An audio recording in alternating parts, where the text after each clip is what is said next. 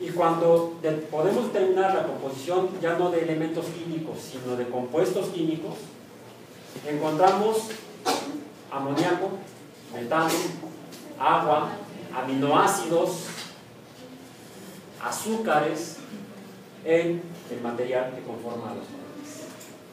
Es decir, si en un principio cuando se formó la Tierra cayeron sobre ella materiales de cometas a través de cometas completos o fragmentos de cometas, muy bien los materiales originales con los cuales se formó la vida en la Tierra pudieron haber sido provenientes de cometas. Y haber enriquecido la variación, o la, la variedad, no la variación, sino la variedad de compuestos químicos que quizá ya se habrían formado en la Tierra misma a partir de los elementos que había en ella en un principio, que eran los mismos, carbono, eh, oxígeno, nitrógeno, hidrógeno, eh, hierro, cobre, manganeso, estroncio, calcio, bario, etc. Y formando elementos químicos de manera abiótica por pura síntesis eh, catalizada por fuentes de energía como pueden ser la electricidad de los relámpagos, la luz ultravioleta proveniente del sol, eh, el calor de las pozas volcánicas y quizá el calor del decaimiento de, materiales, de, elementos reactivos. Todas esas fuentes de energía, digamos, calor, electricidad, luz, pueden haber catalizado la síntesis de las primeras moléculas a partir de las cuales posteriormente se formaron los primeros elementos. Por cierto, esto es tema de investigación porque no sabemos cómo empezaron los primeros seres vivos. Desde hace 60 años se han podido sintetizar en el laboratorio biomoléculas sin la presencia de organismos.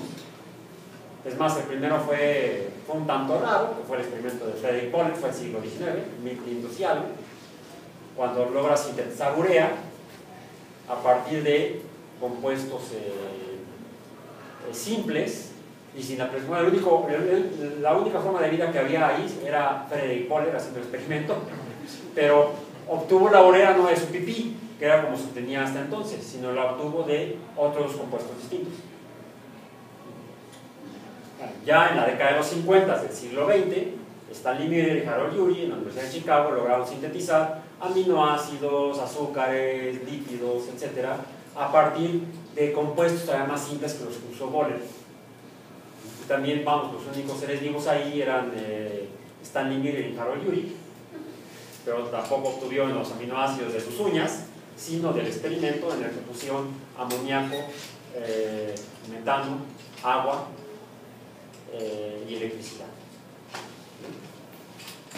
Decíamos, ¿cómo sabemos que estas son o no funciones? Veamos la órbita del. la órbita. esta parabólica, La órbita parabólica de este cometa. Es una para el cometa con órbita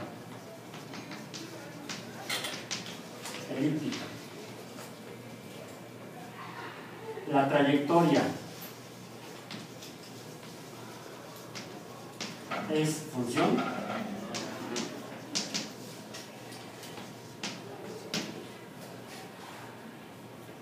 No, porque para esta x tengo una y dos y para esta x tengo una y dos y el único punto en el que no tengo dos y para una x es en este punto pero por tener estos valores aquí esta trayectoria elíptica no es una función.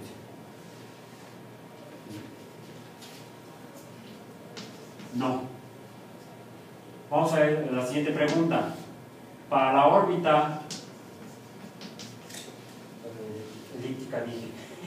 dije una cosa y pensé la otra. Bueno, la elíptica, aquí está. También tampoco, punto. Dos, dos, y, dos, dos, y para una X. Dos Y para una X. Solamente aquí hay una, e, una y para una x y en este sistema también una y para una x, pero toda la demás función, bueno, toda la demás ecuación de la elipse no es una función. Entonces, para la órbita elíptica no es, para la órbita decíamos parabólica, ¿no? Tampoco. Para la órbita hiperbólica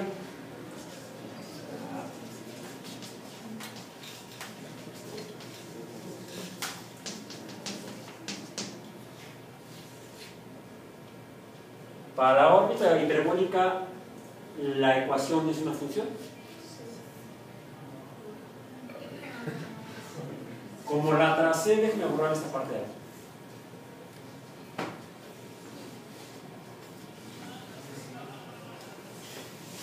Sí, porque para cada X hay una Y. ¿Cierto? Aquí aumenta mucho. Cambia poco X y cambia mucho Y. Pero es la forma de la ecuación en particular. Esta sí es una función. Sí es función, no es función, no es función.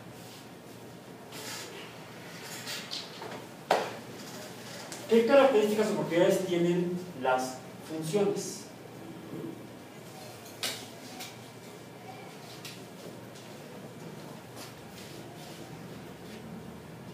Ya tienen estos datos, ya la clase pasada vimos cómo graficarlos. ¿Cómo, cómo obtener los datos? Ahora hay que graficarlos. ¿Ya, ¿Alguien ya los graficó?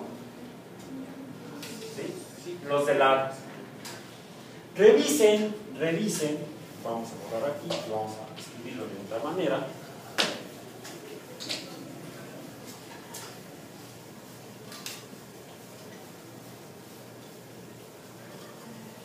Tenemos, tenemos entonces los siguientes grupos de datos previos.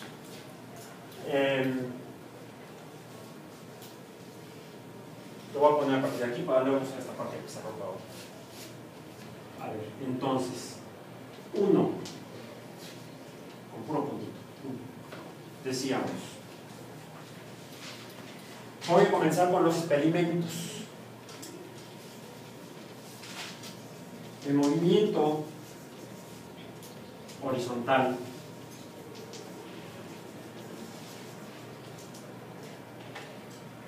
¿Es función?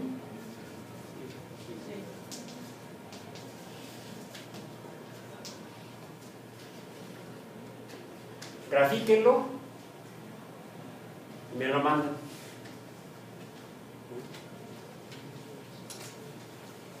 Si quieren, háganlo por equipos. Júntense revisan y hagan equipos de cuatro personas, por favor. Tres o cuatro. Tres o cuatro. No cuatro, tres o cuatro. Si alguien por cuestiones eh, logísticas le cuesta trabajo, hágalo individual. Es hacerlo en equipo no es obligatorio. ¿Bien? Dos. El movimiento vertical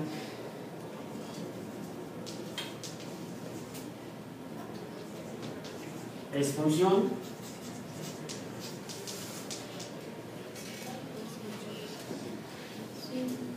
O no no me contesten ahorita dije después ya tienen ya, ya saben cómo tener los datos grafíquenlos y me los mandan bien vamos a pasar a la siguiente tenemos decíamos ¿sí? si no cambia una X o una Y si una Y o una X sea constante, es constante, pero la X o la Y se mueven, tienen un movimiento, entonces cumple el valor de una función. Ahorita lo vamos a ver, no te quiero contestar. Evidencia. Estamos en ciencia, no en magia ni religión. Entonces, aquí las afirmaciones tienen que no solamente que argumentarse, sino que tienen que sostenerse o probarse con la evidencia. De otra manera es retórica nada más. Pues para y sería de una función, porque no importa que x sea una constante. Por, por, planteemos como hipótesis lo que estás diciendo. Tu hipótesis que sí sería una función. Vamos a ver si sí o no es una función. Para que sea una función, la primera uh, característica es que debe ser una relación entre dos cantidades y la segunda es que para cada cantidad de x, eh, si son dos, debe haber solamente una y. Pudiera haber además una z, pero solo una z. Digamos que encontramos otra variable puede estar relacionada con esa x y que podría ser omega, digamos. Y si encontramos que omega se relaciona con x, pero para cada omega, para cada x hay dos omegas, entonces ya no es, ya no existe una función entre omega y x.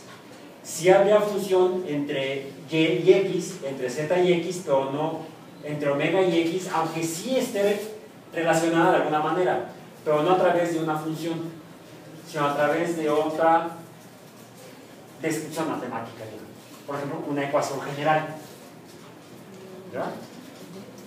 Hay ecuaciones generales en la naturaleza que hemos encontrado, que existen, describen la naturaleza y que son funciones. Pero hay otras que no. Sería interesante, revisando los libros de las diferentes disciplinas de física, química, biología, buscar ecuaciones y tratar de averiguar si esas ecuaciones son o no funciones. Es decir, podemos describir la naturaleza usando el lenguaje matemático. Lo hizo Darwin, aunque no se dio cuenta. Eh, y algunas de esas descripciones matemáticas podrán ser ecuaciones generales porque aplican para todo el universo y otras serán funciones generales si aplican para todo el universo también. Hay funciones particulares y también hay ecuaciones es el cómo vamos armando el conocimiento del mundo usando estas herramientas. Y no solamente la imaginación sola simple, es muy válida para algunas actividades humanas, muy útil para, para algunas actividades humanas, pero no para otras. Si yo quiero eh, eh, ayudar a que alguien se restablezca, restablezca su estado de salud porque presenta alguna patología, será más probable que lo logre si uso las herramientas de la ciencia que uso las herramientas, que si uso las herramientas de la magia. Al menos la experimentación, eso me lo puede demostrar. Y si alguien se toma agua contaminada y se infecta con vibrio cólera y le da cólera, pues por más que rece, no se va a curar. Será creo que más eficiente si le doy un antibiótico, si le doy tetraciclina, es más probable que se recupere a que si nada más le prende una veladora. Quizá lo que sea después es que tengan que prenderle otras tres veladoras.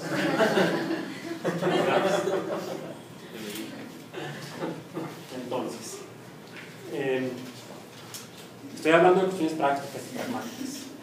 No estoy arguyendo que deban o no creer en, creer en otras cosas, eso ya es un asunto totalmente personal. Entonces, ¿Cuáles son esas propiedades que deben tener las funciones? Ah, decíamos los otros experimentos. Los experimentos, estos son, estos son experimentos, los que son observaciones, el 3. Ahí saltamos aparte. Es el crecimiento humano de en masa.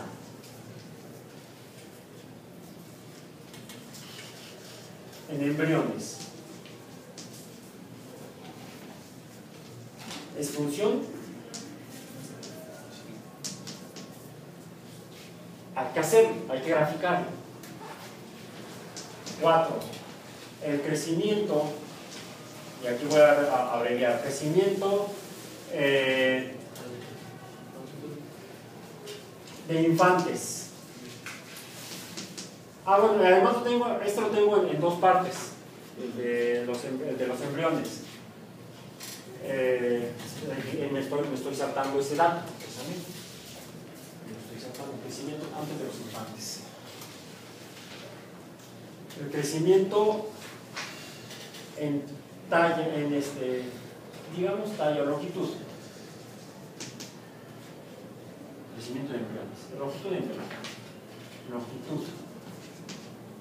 Longitud. De embriones. Es función. Cinco. El crecimiento eh, está en masa. De infantes. Expulsión 6 el crecimiento en masa de, digamos ya no infantes, sino niños. Y los niños llegamos hasta los adolescentes. Expunción 7. Crecimiento en talla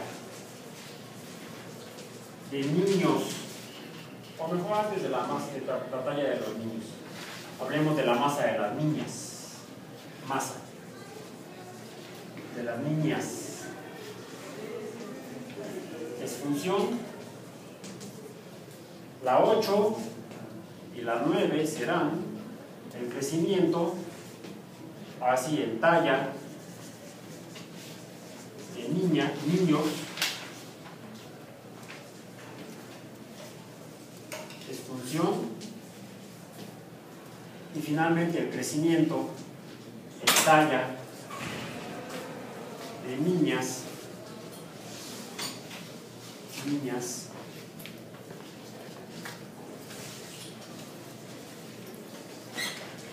expulsión. Es decir, tenemos nueve aquí podría haber más porque el horizontal porque lo hicimos este, tres veces. Y si no me equivoco porque ya vi el video las tres veces hubo pequeñas variaciones entre cada una de ellas. Pero hay que ver las gráficas Eh, cada uno de estos fenómenos son fenómenos naturales. La caída de las cosas, el crecimiento de los organismos, son fenómenos naturales. Podemos encontrar si son funciones. Luego lo interesante sería ver cuáles son las propiedades de las funciones. Y esas propiedades vamos a comenzar a enumerarlas eh, de esta manera. Ok.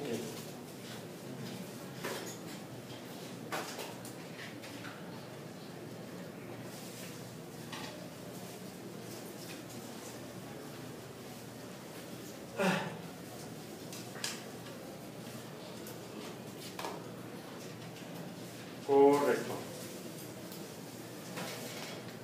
El viernes pasado les mencionaba que habíamos tenido una sesión chistosa porque eh, tomamos el día para asistir a unas, para asistir a, una- a unas conferencias eh, a las cuales espero que asistido.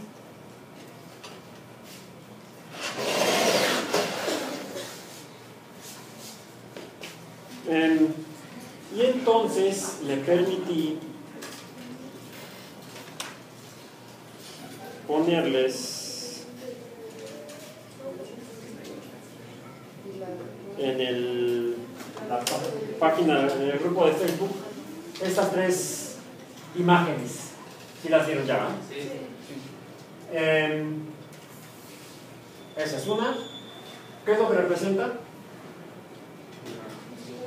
Abajo a la derecha vemos unos ejes cartesianos, X y Y están marcados, X y Y. Aquí hay una tabla que en la que está lista X y Y. En X dice entrada, en Y dice salida. Lo que supone que puede haber, podría haber una relación entre esta X y esta Y. Una relación descrita mediante esta ecuación. Eh, por cada eh, X a la que se le sumarían 2, por eso que los hice al revés, obtendría yo un valor de Y. Es decir, si X vale 1, Y debería valer cuánto? 1. ¿Será cierto? Si X vale 1, 2 menos 1 da 1. Entonces Y vale 1. Si X vale 2, 2 menos 2, Y vale 0.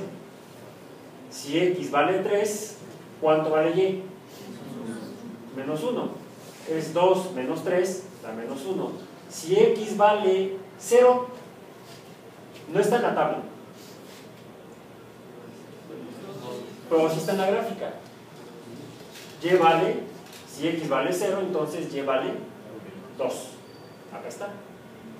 Y podemos suponer que esta, estos puntos que estamos arbitrariamente asignando con valores de x igual a 1, 2, 3 y 0, dije yo, podrían estar unidos a través de una línea. Entonces, a esto le llamaríamos una función lineal, porque los puntos de x y y se relacionan a través de una línea que podría ser una línea continua. Imaginen que, y, que x no vale 1 ni 2, sino vale 1.5. ¿Cuánto vale y? Si x vale 1.5, y vale 2 menos 1.5, punto 5, acá está. Si x vale 5.5, si x vale 5.5, puedo obtener el valor de y de dos maneras. Sustituyendo y x aquí como 5.5 o interpolando a la extensión de la recta.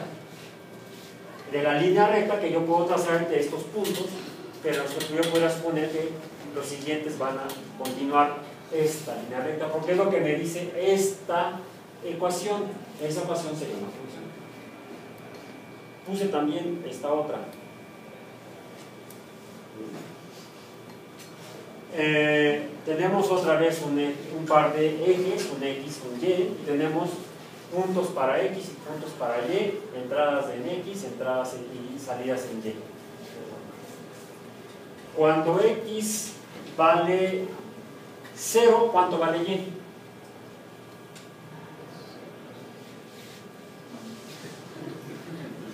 Algo, porque no tengo escala. Lo que sí puedo decir es que si X es positivo, si los valores de X están de este lado, los valores de Y ¿cómo son? Positivos.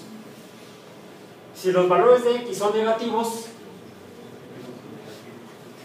pueden ser de dos tipos. Los valores de Y, positivos y negativos. Por lo cual, necesito una de dos cosas o las dos. Extender esta estos puntos o obtener la relación matemática o la función que me relaciona a x y y en este caso. Lo que sí veo es que ese grupo de puntos son una función.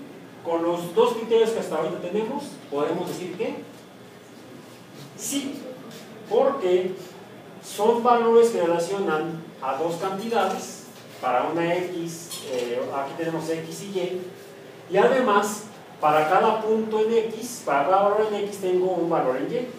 Solamente hay un punto. Para cada X hay una Y, para esta X está esta Y, para esta X está esta Y, para esta X está esta Y. Entonces, esto podría estar descrito como una función. Y la otra gráfica que pusimos fue esta. Es una función